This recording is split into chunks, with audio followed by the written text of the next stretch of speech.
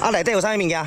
警方根据线报，在这名逃亡九个月之久的通缉犯藏匿处埋伏，一见到他开着进口车回来，立刻上前盘查围捕。除了在车上查到各式分装的毒品，一把手枪就直接大喇喇的放在方向盘上面。是哦，赶快来支援，抓到枪。画面中副驾驶座的女子还一副淡定无所谓，随即这名金姓嫌犯马上被警方上铐逮捕归案。他之前啊涉嫌了五十八件的贩毒案件哈。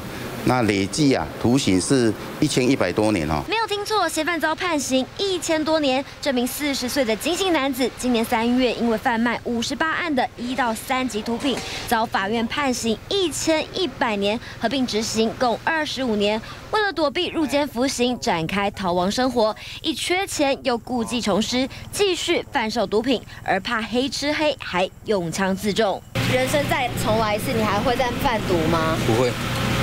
你有后悔？是。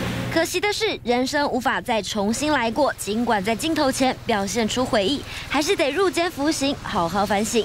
只是嫌犯今年已经四十岁，即使在狱中表现再好，再出来也至少六十岁了。人生因为贩毒因此毁掉，实在悔不当初。记者徐曼佳台北报道。啊？